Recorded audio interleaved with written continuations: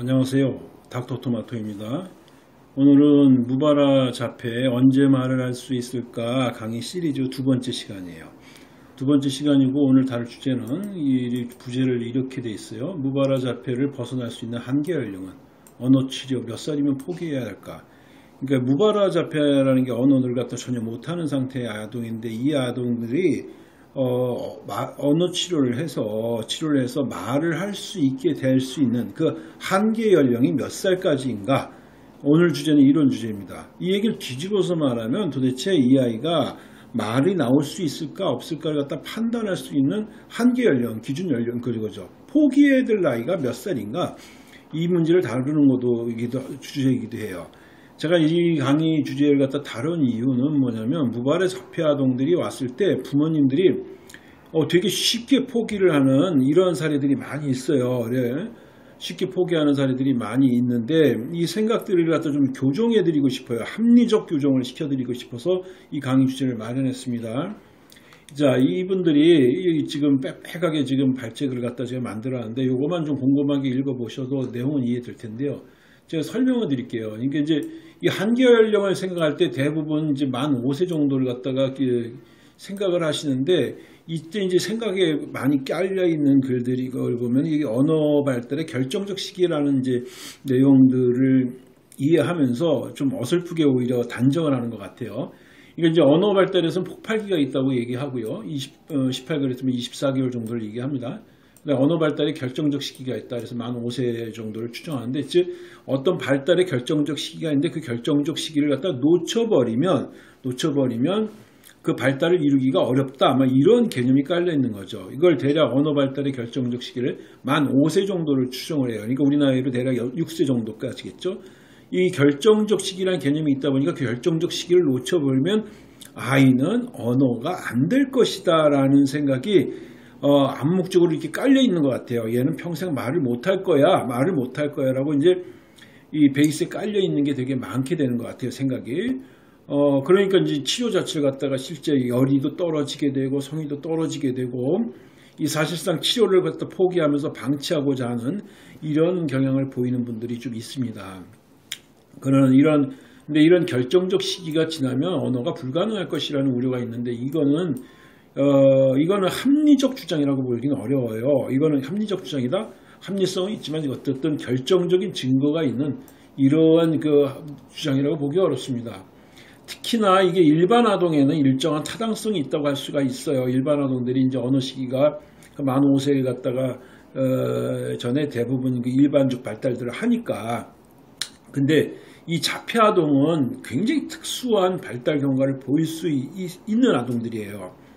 그래서 자폐 아동들에게서는 언어 발달의 결정적 시기가 언제냐 뭐 이런 것에 대한 연구도 따로 있을 뿐 있지 않을 뿐 아니라 그 한계 연령에 대한 연구는 결정 없습니다. 그래서 이 결정적 시기에 대한 것이 만 5세라고 했을 때 이게 자폐 아동에게 그대로 적용될 수 있냐면 절대 아니라는 이야기를 해가, 해드리고 싶어요.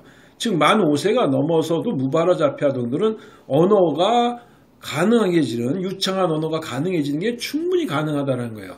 제가 경험했던 케이스, 저도 사실 이 문제에 대해서 고민들이 많이 있었는데 제가 근래에 경험한 케이스 중에 가장 무발화 자폐를 벗어나서 유창한 언어 능력을 획득한 연령인 최고 연령은 이거예요. 우리나라 나이로 10살 때 발화가 가능해진 무발화 자폐 아동을 갖다가 제가 확인한 바가 있습니다. 이거는. 음? 얘가 지금 초등학교 입학 시기까지는 거의 무발화 자폐였는데요. 무발화 상태였는데 아이가 점차 말이 트이면서 10, 10세경에는 언어가 가능해진 상태였어요. 유창한 언어 상태가 가능한 상태였습니다. 그러니까 이게 어, 무발화 자폐 아동이라도 지금 얘가 만 7세 넘어서 발화가 되기 시작해서 만 10세 때는 10, 어, 그만 9세 때죠. 만 9세 때는 굉장히 유창한 언어 능력을 갖다 갖추게 된 거예요. 그러니까 언어 발달의 결정적 시기를 넘어서 언어가 형성이 되기 시작 무발화 자폐를 어, 벗어나서 유창한 언어 능력까지 획득한 거죠. 어. 그러니까 이게 자폐아동학에서 언어 발달의 결정적 시기라는 이거는 어, 오히려 머릿속에서 지워버리는 게 훨씬 더 합리성 있게 치료 계획을 세울 수 있을 거라고 보여집니다. 우리가 언어 발달의 결정적 시기와 관계 갖고 몇 가지 사례를 갖다 한번 보도록 할게요. 늑대 소녀 아마라하고 카마라 이야기였습니다. 이제 이 친구들이 인도 인도에서 얘기했을 거예요. 굉장히 그 언어 발달에 대해서 연구 어, 참고 자료로 인용이 되는 친구들인데 늑대에게서 자란 소, 그, 어, 여자애들 두 명이에요. 아마라고 카마라는 아이인데 얘네들이 늑대에서 자랄 때 확인 그 발견돼서 인간에게 데려왔을 때 아마라는 두 살이었고 카마라는 일곱 살이었다고 합니다. 만 나이겠죠. 아, 근데 얘네들이 완벽한 늑대였다 그래요. 완벽한 늑대. 네 발로 걷고, 네 발로 뛰고, 네, 물건을 갖다 볼 때도 시각적으로 탐색하거나 손으로 탐색하는 게 아니라, 어, 코로 냄새를 맡고, 물도 마시는 게 아니라 혀를 핥아먹고, 이런 완벽한 늑대 상태였는데, 이 아이들이 인간하고 생활을 하기 시작하면서 언어가 튀기는 과정 보면요. 아마라는, 어, 이 최초 바라가 2년이 경과한 후에 즉 인간들과 생활을 하면서 2년이 경과한 후에 물이라고 이야기를 하기 시작했다고 합니다. 2년이라는 게 굉장히 의미 있는 시간이에요. 근데 이제 카마라 같은 경우는 이미 늑대로서의 그 경험치가 굉장히 고착이 되어 있는 거죠. 어찌 보면 우리가 얘기할 수 있는 언어 발달의 결정적 시기가 다 벗어난 친구예요.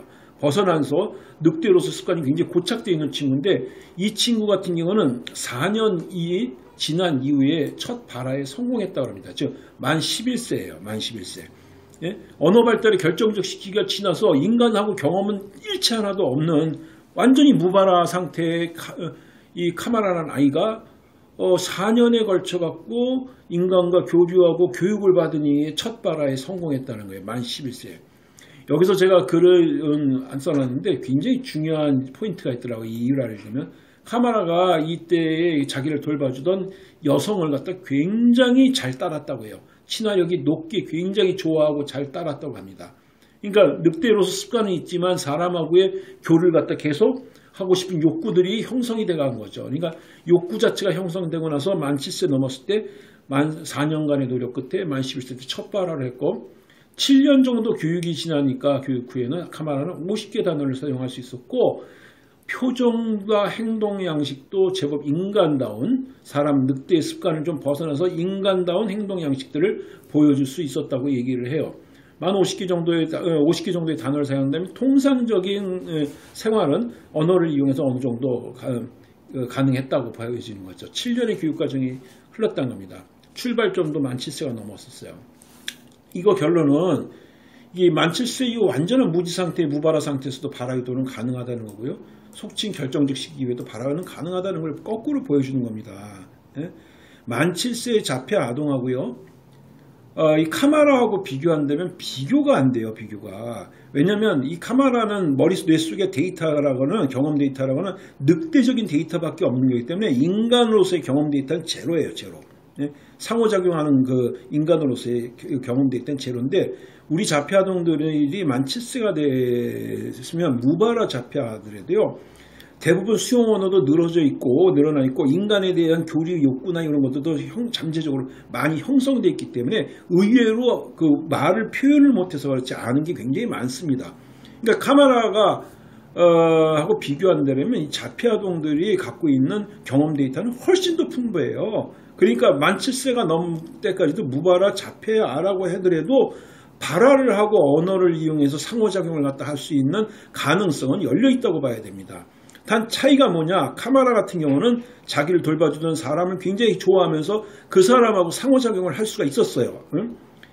우리 아이들이 어, 자기를 돌봐주는 가족과 애정을 나누면서 상호작용을 할 수 있는 상태를 만들어낸다라면 카마라 같이 그러면은 만 7세가 넘어서 8세, 9세 시가 돼도 무발화 자폐를 벗어날 수 있다라는 역증거가 이 카마라 사태라고 볼 수가 있습니다. 예? 제가 경험했던 이 사례도 이 카마라 사태를 갖다 역증거로 추론해서 생각한다면 이거는 놀라운 일이 아니죠. 음? 자, 또 하는 사례는 고립 속에서 길러진 만 13세 미국 진이 이야기도 있습니다. 이 이야기가 오히려 되게 처절할 수도 있어요. 이게 카마라보다도 이 만 13세에 발견됐어요. 이 아이는 뭐냐면 얘는 얘도 참 어떻게 인간이 그런 짓을 할 수 있는지 상상이 안 가지만 그 딸아이를 갖다가 어떤 뭐 부부 사이 불안지 그건 제가 지금 자세히 기억이 안 나는데 애를 갖다가 침대에 묶어 놓았다면 그렇게 해갖고 길렀다고 그래요.